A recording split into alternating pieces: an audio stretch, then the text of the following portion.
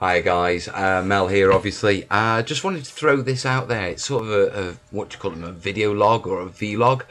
Uh, just wanted to say thanks. Yeah, 104 subscribers, over 2,500 channel views, uh, shed loads of likes and great comments. So I really appreciate you putting it back in, guys, and letting me know I'm on the right track and I'm chuffed with how it's going.